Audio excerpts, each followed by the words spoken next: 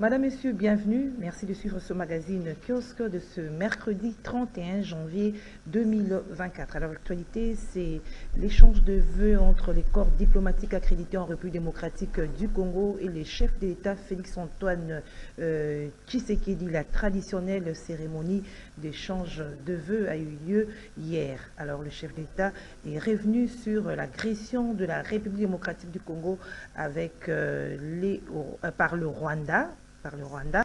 Alors, euh, le chef d'État a, dans son allocution, indiqué qu'il n'y aura pas de dialogue avec euh, le Rwanda tant qu'il continuera à occuper une portion de notre territoire. Analyse et commentaires, c'est avec euh, nos invités. Autre sujet d'actualité, c'est la session extraordinaire de la nouvelle législature à l'Assemblée nationale. L'ouverture c'était euh, donc euh, lundi, nous allons revenir avec euh, cette non-participation des députés de l'opposition. Et du côté de l'Assemblée provinciale ville de Kinshasa, la nouvelle session ou l'ouverture de la session de la nouvelle législature, c'est pour le 5 février. Nous allons en parler avec notre invité. La situation des Kimpese, la cité de Kimpese où il y a insécurité, fera également l'objet de notre débat ce matin. Deux invités. Le premier est déjà là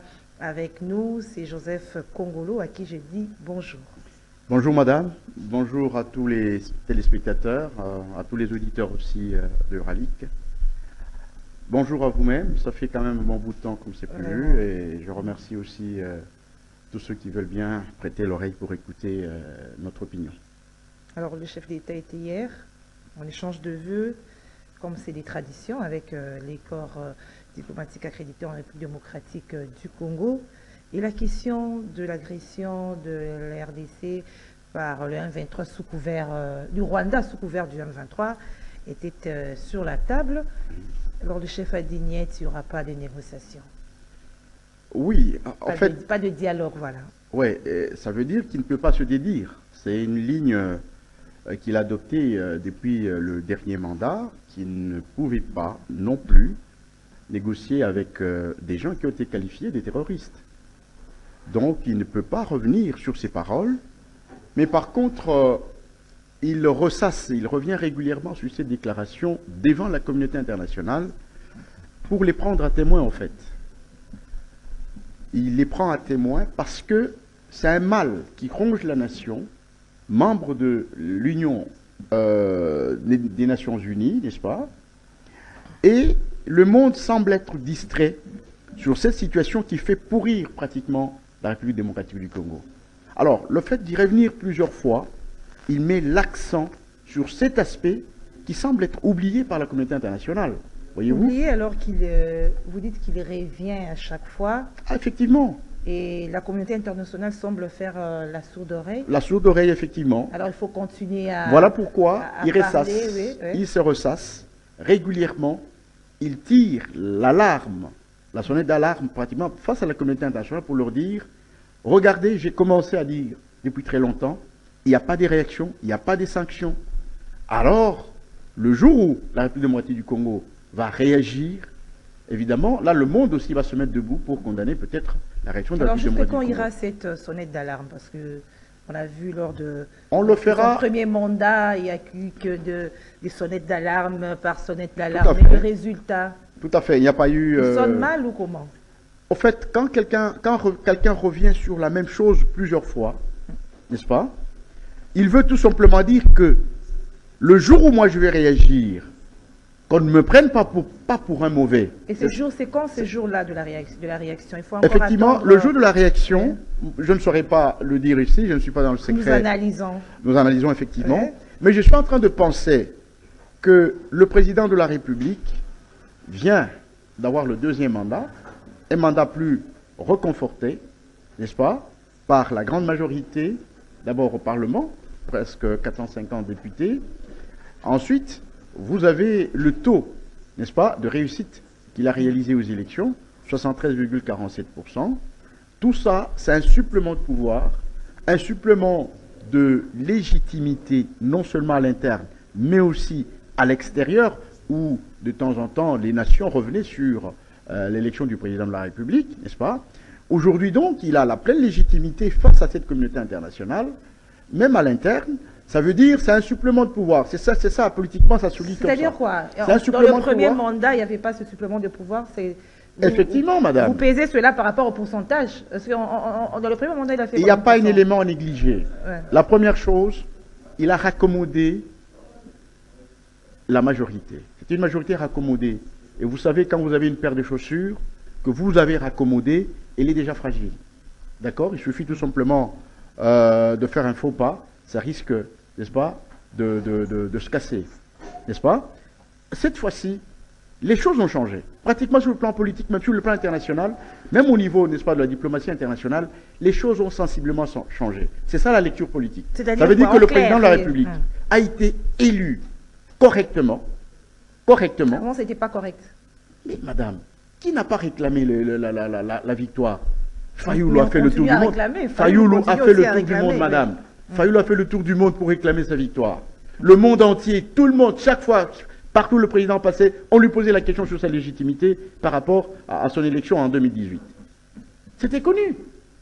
Mais il n'avait pas de parlement. Il n'avait pas de parlement. Non, non, non, c'est déjà dépassé, madame. Non, mais, mais, mais ensemble n'est pas à l'Assemblée nationale. Ils disent qu'ils vont réfléchir parce Qui que parce qu'ils critiquent euh, justement Madame, les choses se présentent autrement. Le tableau est totalement différent aujourd'hui. Fayoulou n'a jamais réclamé la- la ré- euh, sa victoire à la présidence de la République depuis 2023.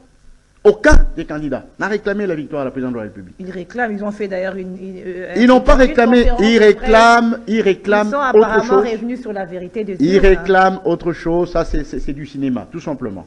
Aujourd'hui, même la le langage véritable de la communauté internationale, de la communauté nationale n'est plus au niveau de la légitimité du pouvoir de Félix aujourd'hui. C'est vrai, il y a eu des problèmes, je ne dis pas que les élections étaient parfaites, non, mais il a été bien élu.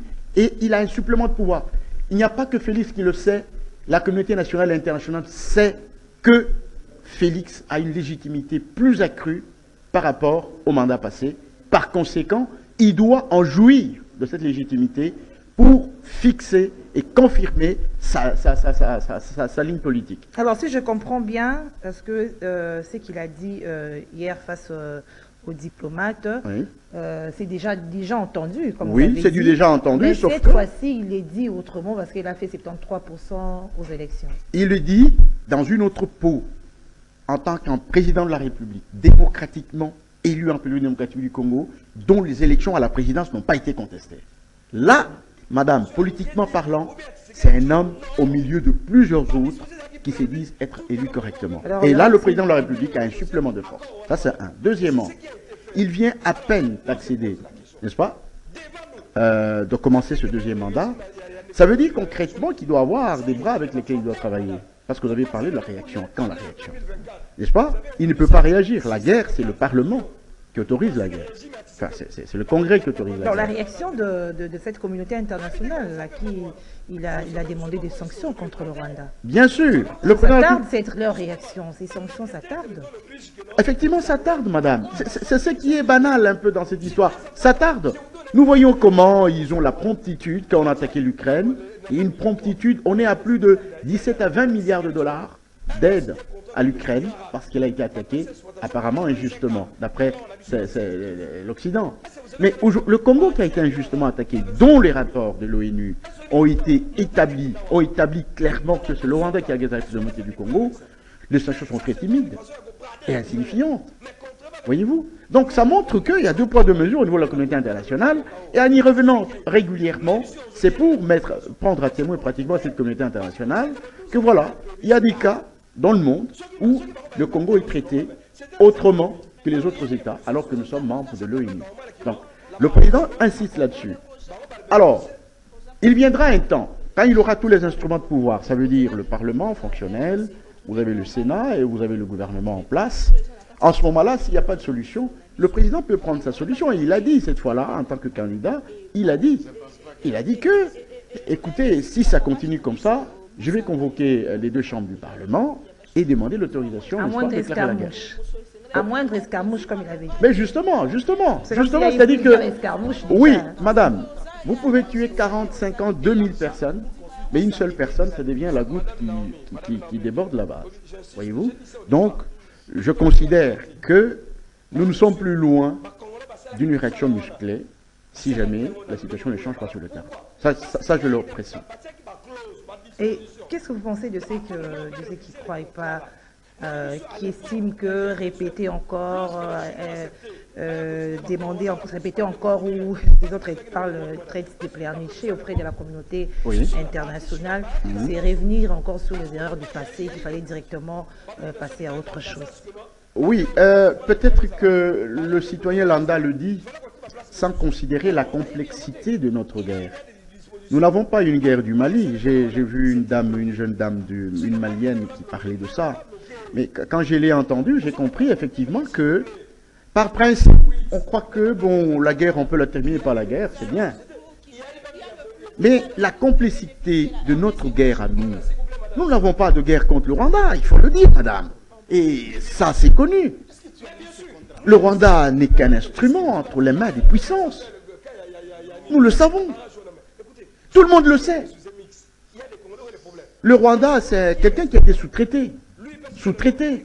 Le M23 sous-traité. En réalité, la guerre que nous avons, c'est une guerre contre les puissances. Les multinationales, soutenues parfois par leurs propres États. Et ça sera difficile de vaincre. Non, je voudrais dire tout simplement, non, je voudrais dire tout simplement que ce n'est pas une guerre normale, une guerre facile, une guerre classique, comme les gens le pensent, comme j'ai entendu cette dame malienne. Non, c'est une guerre très complexe. Elle est très complexe. Voyez-vous? Ce ne sont pas les armes non plus qui manquent. Ce ne sont pas les armes. Regardez, regardez, madame, c'est un problème de stratégie. Pourquoi?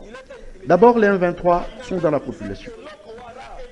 Ils sont dans la population, ils ont un bouclier humain, ce sont des Congolais qui mettent autour d'eux pour qu'à un moindre euh, bombardement, si vous avez 5, 10, 20, 30 Congolais qui meurent, voilà, il a tué sa propre population et la donne politique change.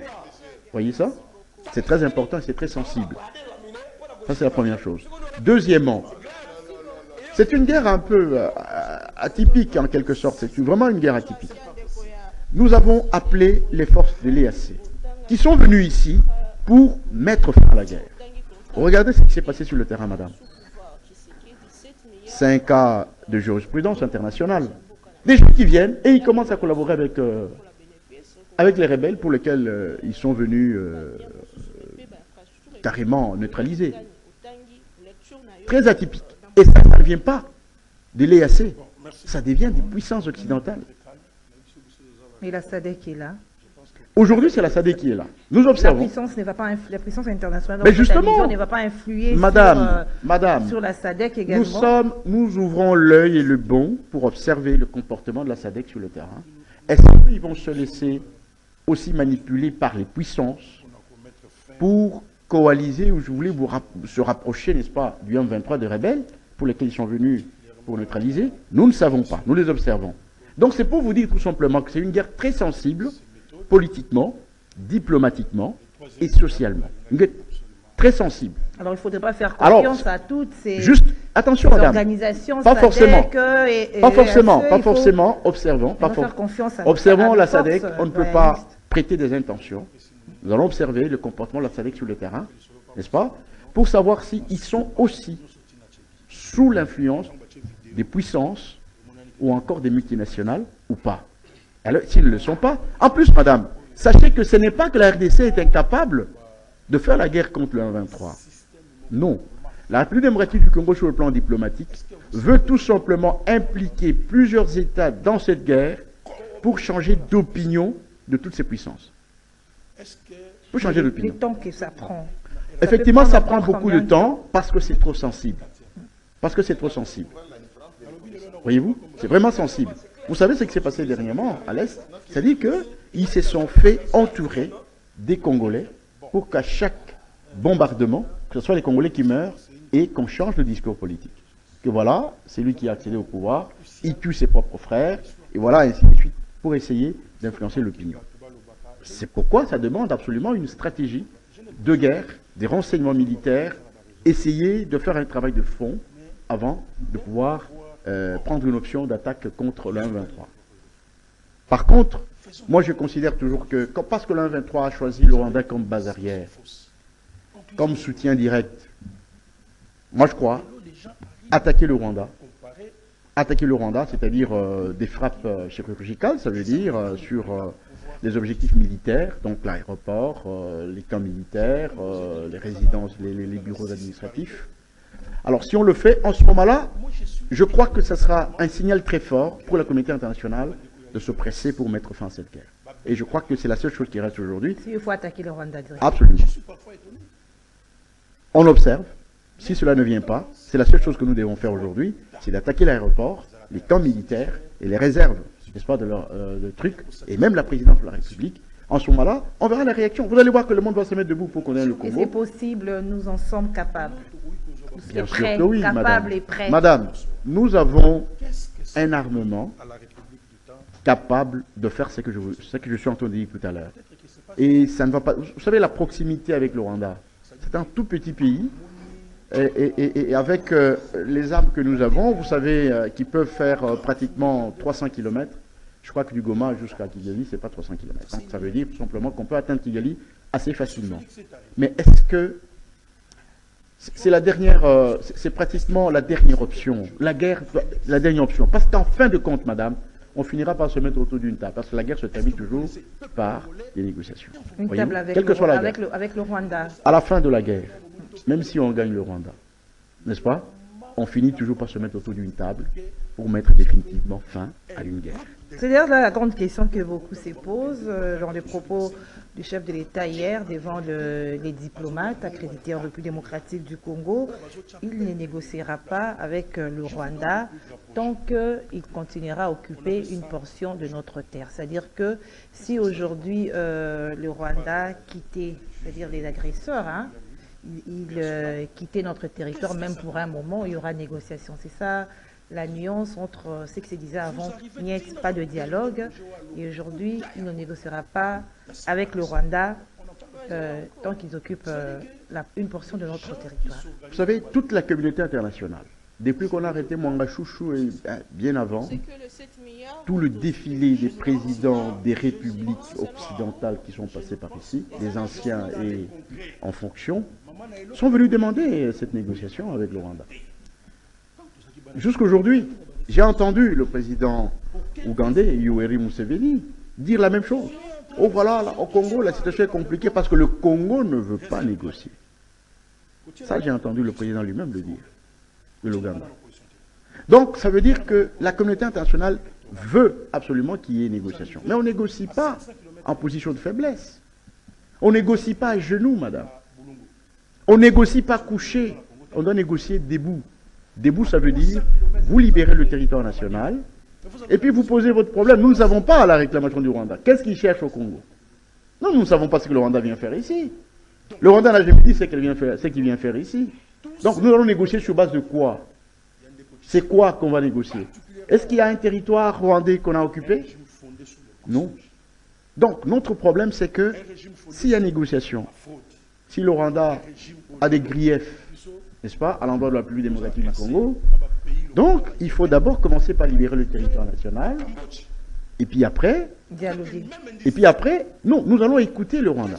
Ah, ça serait une question d'écouter. Absolument, ça dit que le dialogue ne vient pas tout de suite. Qu'est-ce qu'on va faire après de leurs préoccupations? Mais justement, nous ne savons pas quelle est leur préoccupation. Quelle est leur préoccupation?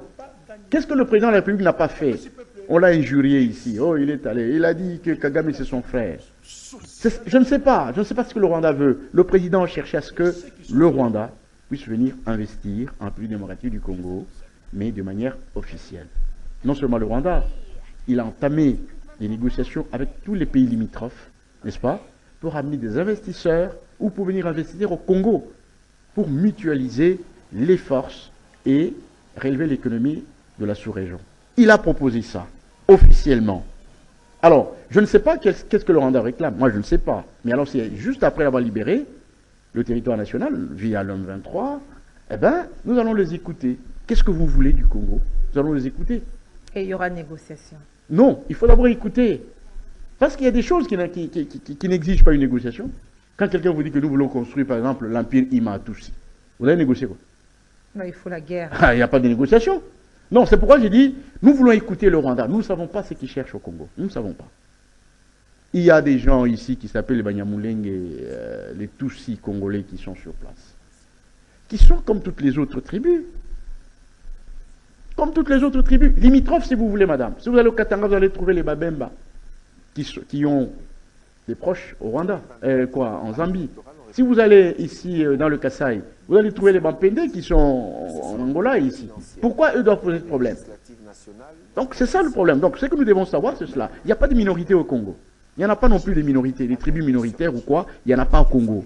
Donc nous aimerions bien écouter les griefs du Rwanda. Qu'est-ce qu'ils veulent effectivement? Quelle est leur demande au Congo pour, au point de nous faire la guerre? C'est ce que nous devions savoir. Nous ne savons pas. Voilà pourquoi la négociation, ça va être euh, très difficile de négocier, parce que nous ne savons pas sur quoi nous allons négocier.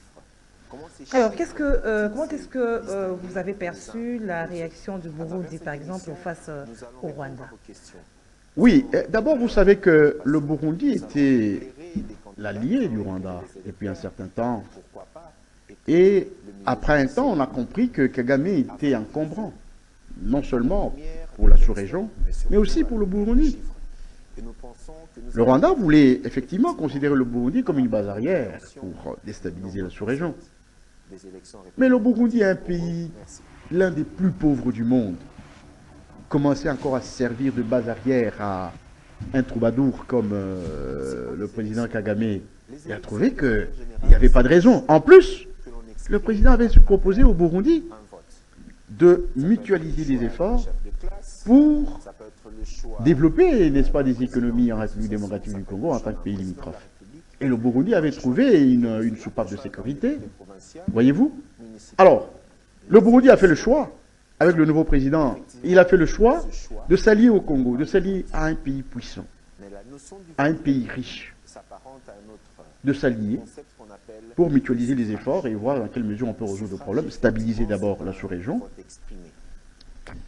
créer la paix qui peut favoriser, n'est-ce pas, le développement économique. Et le Burundi il n'y a, pas les agendas cachés. Alors, hein. les agendas cachés, il ne peut pas en manquer, madame. Il ne peut pas en manquer. Pourquoi Non, non, on ne se méfie pas. Par contre, c'est nous qui gagnons. D'abord, je vais vous dire que le Rwanda voulait faire un, coup d'État au Burundi. Ça, ça, peut-être les gens ne sont pas informés. Vous voulez faire un coup d'État au Burundi? Et je vous dis qu'ils ont nos services de sécurité qui sont allés au Burundi pour sécuriser le Burundi. Pendant que nous parlons, à moins que je me trompe, il y avait encore des troupes congolaises au Burundi où ils sont déjà rentrés, et les services de pour protéger le Burundi. Parce que ça sonne mal pour le Rwanda, parce que nous pouvons aussi utiliser le Burundi comme base arrière pour attaquer le, Rwanda. Vous comprenez? Donc il y a un problème de stratégie au niveau diplomatique, au niveau sous-régional, et le Burundi est collé à nous parce qu'il y a trop beaucoup d'avantages de se coller au Congo que de se coller à un pays euh, qui vit de monde. Voilà. Donc c'est un peu ça, euh, la cartographie sous-régionale ici chez nous, c'est que le Burundi est notre allié, notre allié. Donc sur le, sur le plan stratégique, oui, sur le plan stratégique. Et je vous informe, madame, que eh, il y a même d'autres renseignements que nous recevons du Burundi à propos du Rwanda. Donc euh, c'est notre partenaire euh, stratégique. Voilà. On change euh, de registre. Pourquoi, madame? Parce qu'il fallait diviser le bloc Rwanda-Burundi-Ouganda. Dans la stratégie, il faut savoir diviser l'adversaire. Et ça a été réussi. L'unité de l'adversaire. Ça a réussi parce qu'aujourd'hui, le Burundi a même fermé la frontière avec le Rwanda. Et le Rwanda a été esselé, ça veut dire euh, tout simplement esselé. Euh, L'Ouganda est très loin du Burundi. L'Ouganda est un peu à distance avec le Burundi. Et nous sommes en coopération militaire avec l'Ouganda. Donc, vous comprenez qu'on a essayé de mettre en pièces le bloc qui agressait la République démocratique du Congo. C'est aussi une victoire diplomatique. Peut-être que les gens diplomatiques militaires. Pourquoi attendu aussi qu'on puisse euh, fermer la, la RDC faire Non, non, non, c'est pas la. Faire de même, hein Vous savez, le président a toujours dit que nous n'avons pas de problème avec les, Rwandais, le peuple rwandais, mais c'est plutôt avec le régime en place. Ça, c'est. Et, je l'ai dit oui. Euh, les gens qui aggravent le feu dans toute cette histoire, c'est le régime en place au Rwanda. Mais en réalité, les Rwandais... Euh, euh, j'ai un ami, un ami bien placé à l'Est, il me dit que les Rwandais, ils viennent faire le taxi-moto à Goma. Ils laissent leur moto, le matin, ils traversent pour venir faire le transport. Ceux qui vendent à la criée, là, la plupart, ce sont des Rwandais. Ils laissent leurs histoires dans les dépôts, le matin, ils traversent, ils viennent, ils font de tour, ils vendent leurs histoires, ils rentrent chez eux. Les légumes, les fruits et tout ça, ce sont les, Rwandais qui viennent, qui viennent vendre euh, à Goma. Les taxis motos, les, boutiques, ce sont des boutiques rwandaises, mais Ils habitent chez eux et le matin, ils traversent pour venir travailler. Donc, il est Voyez-vous pas question de Donc- fermer la frontière. Donc, le problème avec Ouais. le peuple rwandais, il n'y en a pas. En réalité, ce sont les régimes qui essayent de- de- de- d'opposer les peuples, mais en réalité, ce n'est pas ça. La, la guerre n'est pas au niveau des peuples, c'est au niveau des régimes. C'est au niveau du régime. Ok. Parlons de l'Assemblée nationale, la nouvelle législature.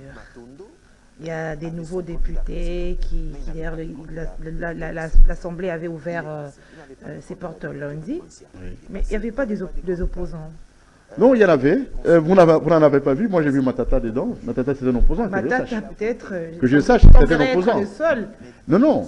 Moi, j'ai vu Matata et je me suis dit, Madame, vous savez, ici chez nous, nous avons un avantage historique. Tout ce que l'opposition est en train de faire aujourd'hui, ça a été fait par l'UDPS hier. Et ça n'a pas payé. L'UDPS, Quelqu'un a dit ça payé, mais non, après 32 ans, ils sont au pouvoir. j'ai dit ceci, Ça ça payé le ça n'a pas payé. Non, non, non, non, non, je vous explique. Ça n'a pas payé. Regardez le nombre de, de députés de l'UDPS en 2018. C'est la conséquence de ce qui s'est passé en 2006 et en 2011. Ça n'a pas payé politiquement. Ça n'a pas payé. Et le nombre de députés, Vous ne pouvez pas. le Ben nombre oui. de députés de l'opposition aujourd'hui, c'est quelles conséquences Vous dites Le Non, non. nombre de députés de l'opposition aujourd'hui. Aujourd'hui, La, résu- la, résulta- la résultante de quoi j'ai parlé de l'UDPS d'abord, mais Ouais. aujourd'hui, le nombre, le nombre réduit parce qu'ils n'ont pas eu de stratégie.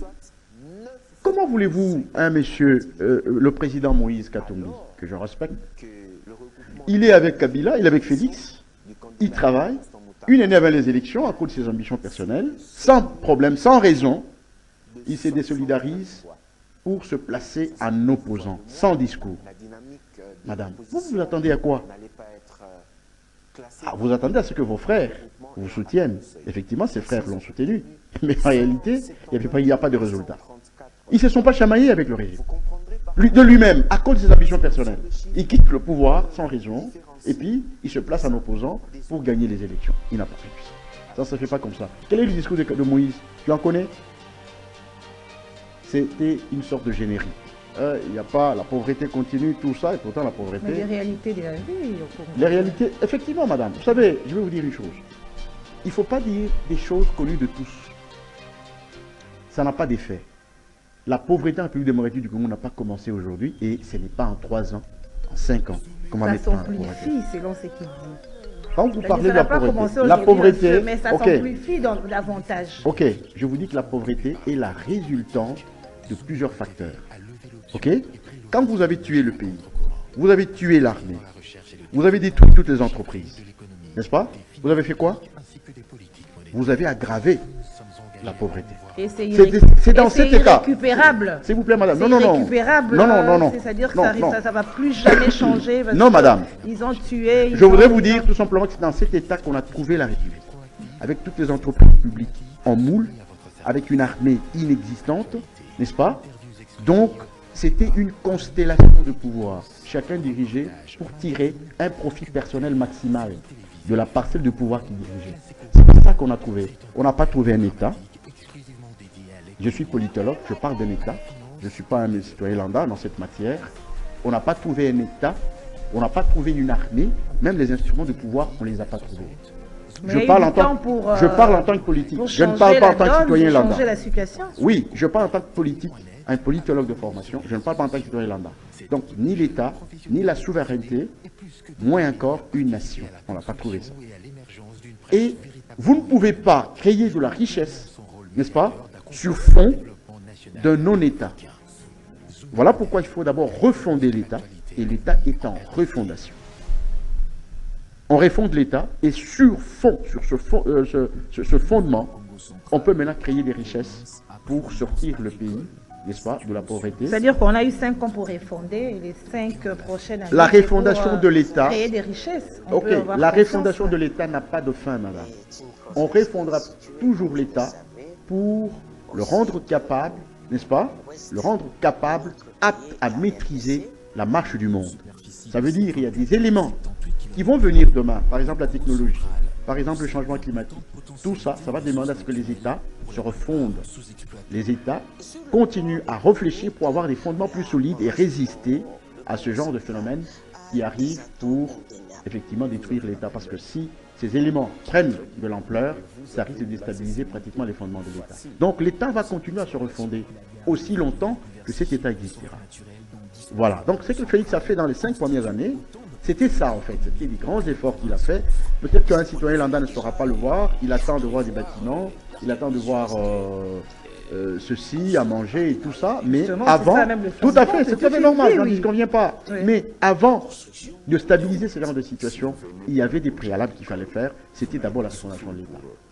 C'était pas la République n'est pas une famille, n'est pas une famille, n'est pas une tribu. C'est un État, un État le plus vaste, un sous-continent qui a les dimensions de l'Union européenne aujourd'hui. Donc, euh, je crois que le travail n'a pas été mal fait, c'est bien fait, et nous espérons que ce deuxième mandat, avec le concours de tous, nous allons consolider ce qui a été fait. Il y a l'honneur à sauver cette fois-ci. Hein. Absolument. L'image de l'UDPS, l'image de, de notre Tshisekedi. D'abord, je vais vous dire une chose. Sauver cette fois-ci. Absolument, il y, a, il, y a, il y a des choses à défendre. L'honneur à reconstruire. À reconstruire. Il faut d'abord reconstruire cet honneur, la consolider, le consolider, et puis le défendre désormais. Pourquoi? Madame, aujourd'hui, je suis politologue, je suis en train de vous dire que si l'UDPS n'existait pas, avec ses erreurs, avec ses fautes, avec tout ce qu'il y a comme de mal, on n'aurait pas un État stable. Ah oui, c'est discutable. Mais je vous dis, nous n'avons plus de parti politique ici. Les, partis, sont en, fondation. Les partis sont en train de se créer, oui. Légalement, ils existent, ils ont des, arrêtés, et tout ça. Mais sur le terrain, sur le terrain, un parti qui respire, un parti qui vit, malgré les erreurs, c'est l'UDPS. Malheureusement. Vous dites ça parce que vous êtes au pouvoir Malheureusement. Non, non, non, non, non. Ce n'est pas parce qu'on est au pouvoir. Je vous dis malheureusement. L'UDPS est au pouvoir. Malheureusement. Regardez le PPRD qui est né au pouvoir. Où est-ce qu'il est, aujourd'hui Qu'est-ce qu'il dit ah, Comment il participe Comment le PPRD avec participe tous les partis politiques, M. Joseph Kongola, non, le MPR non, qui disparaît. Non. C'est ça le mal. C'est ça le, mauvais. Palou. Aujourd'hui n'est plus comme le palou du temps des C'est ça le mauvais fondement. Peut-être qu'on verra aussi l'UDPS après le pouvoir. C'est ça le mauvais fondement des partis politiques. Le, le mauvais fondement. J'ai parlé de la refondation tout à l'heure. Le mauvais fondement des partis politiques. L'UDPS a un fondement très solide. Pourquoi? Parce que ses fondateurs avaient un discours qui a convaincu des gens dans la clandestinité pendant que la dictature était très forte. Et ces gens ont résisté. Dans une dictature très forte, ils ont résisté. Ils ont développé des réflexes de combat et des réflexes de résistance. Voyez-vous? Et ils ont résisté à tous, les, euh, tous les régimes qui se sont succédés au pouvoir après Mobutu. Ça, c'est la première chose. Deuxièmement, tous les géniteurs sont morts. Et le parti a accédé au pouvoir. Tous les géniteurs sont morts. Et le parti... Nous allons attendre la suite après le pouvoir. Madame, avant le, pouvoir, ils ont résisté. J'ai dit ceci, avant le pouvoir, ils ont résisté dans une répression sans précédent. Il n'y a pas un parti qui a subi de répression comme l'UDPS. Il n'y en a pas. Il était à côté du peuple. Il n'y en a pas. Le parti UDPS était du côté du peuple, de la société. C'est ce que j'ai dit. Il n'y a pas un seul parti qui a, qui a, des martyrs comme l'UDPS. Alors, je me demande, dans, dans, dans, dans un environnement politique dégagé démocratiquement, je ne vois pas l'UDPS mourir. Attendons voir. Alors nous revenons à l'Assemblée Je vois l'UDPS qui peut s'affaiblir, mais pas mourir. Mais encore, qui peut reprendre du lest. Parce que les géniteurs avaient un discours, ils ont créé d'autres géniteurs. Vous savez, dans l'UDPS, il y a beaucoup de Tshisekedi, il y a beaucoup de Liaou, il y a beaucoup de Kibasa, et il y a beaucoup de Moakiem dans l'UDPS. Il y a des gens qui sont taillés à la mesure de ces fondateurs. Attendons voir la suite après. Alors, euh, nous étions à l'Assemblée nationale, avec, euh, on parlait des députés de l'opposition qui ne sont pas là. Vous avez parlé de Matata Pogno. Matata est là, et puis euh, Il ne faut pas oublier que Matata Pogno a des ennuis judiciaires, et peut-être il est derrière l'immunité pour se protéger, c'est pas le cas Non, mais le fait d'être député, c'est vrai, il faut la validation de mandat pour jouir euh, de, de l'immunité.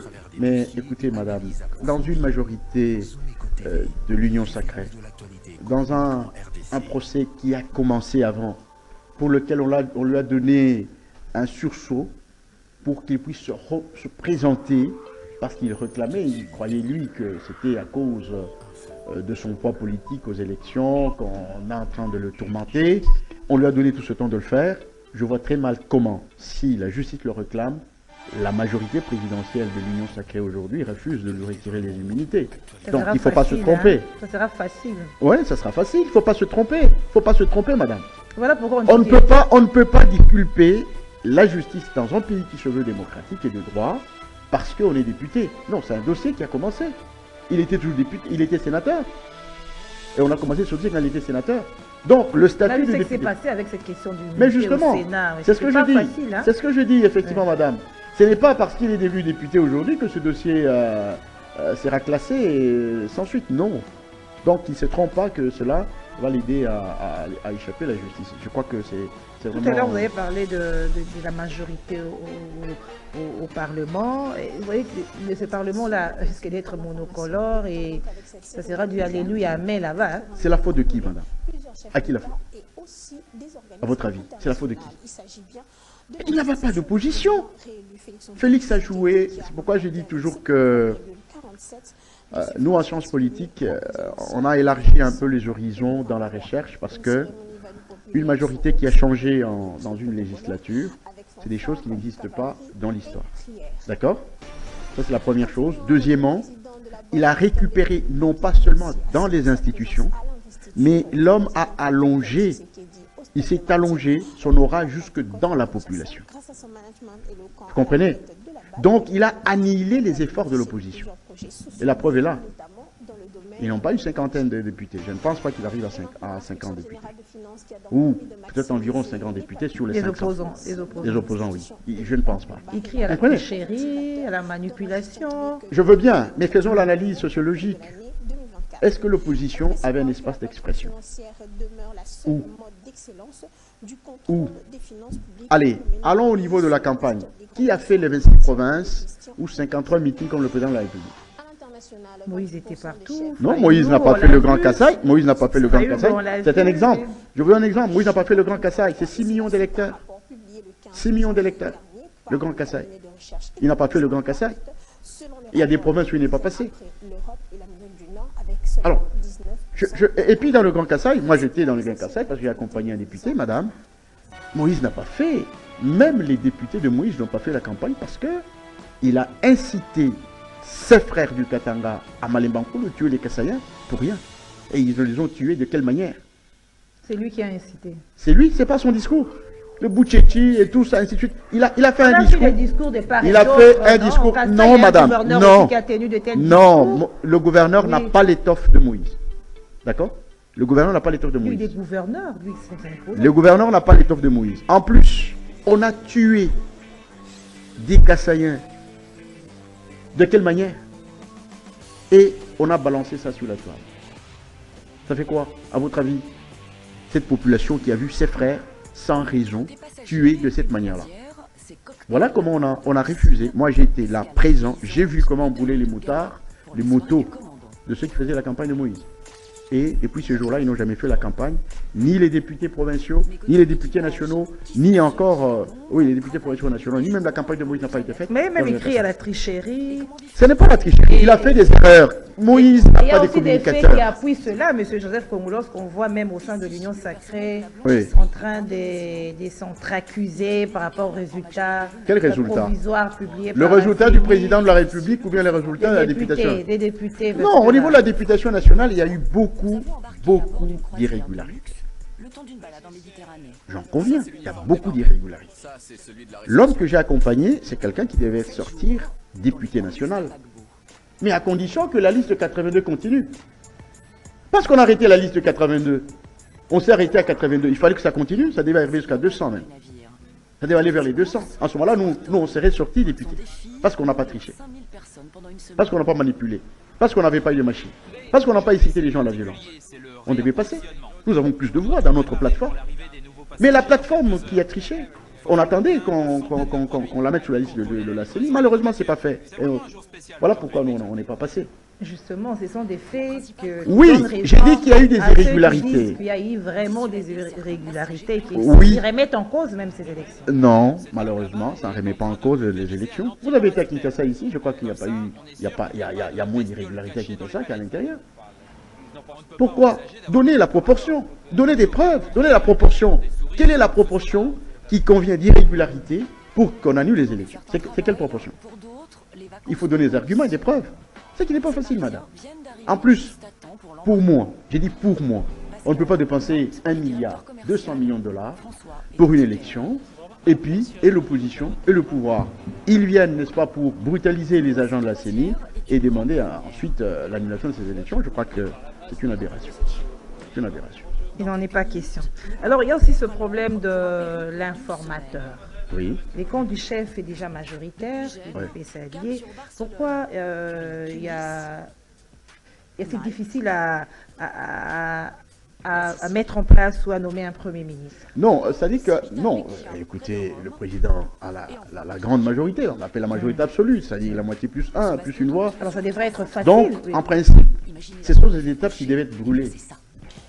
Il suffit de constater un informateur, il suffit de constater tout simplement euh, au Parlement, détecter la majorité. Bon, parce que c'est une procédure constitutionnelle, n'est-ce pas on, peut le faire, tout comme on peut faire un constat simple et facile. On trouve que c'est le camp du président de la République qui a la majorité et on nomme le en Premier ministre. Il ne faut pas revenir sur euh, du, théâtre. Hmm? L'opposition a combien de députés? Sur les 500, sur les 477, pardon. En combien de députés? donc la majorité est claire, elle est connue. Tout simplement, il faut valider les mandats de ces députés et ensuite euh, faire la validation des mandats et euh, constater euh, que c'est le président qui a la majorité. Et la création de toutes ces plateformes. les plateformes, madame, je, suis, je me suis exprimé à l'agence congolaise de presse. La plateforme que M. Kamere, Kankou, Mboussa et Paloukou ont fait, moi, je crois que ça facilite au chef de l'État. Je l'ai dit, ça facilite au chef de l'État de gérer 500 partis politiques, 200 personnalités politiques, plus la, société civile. Il ne peut pas négocier avec tout le monde. Il faut que les gens se regroupent à microcosme politique à l'intérieur de ce complexe politique qui est l'union sacrée, pour avoir 5, 6 interlocuteurs avec lesquels on peut négocier, avec lesquels on peut négocier, avec lesquels on peut échanger. Donc, je trouve que c'est tout à fait correct et normal que cela soit fait. Sauf ce que je semble constater, c'est que, un, le président de la République doit connaître ça. Je ne vois pas Camille faire quelque chose sans l'assentiment du président de la République. Jamais. Non. Ça, c'est la première chose. Deuxièmement, madame, la chose que j'ai constatée, c'est dans la précipitation. C'est-à-dire que le principe existe, mais Caméré l'a fait, ou pas Caméré, peut-être que les, les, 4 ou 5 euh, plateformes l'ont fait dans la précipitation et sans informer les autres membres.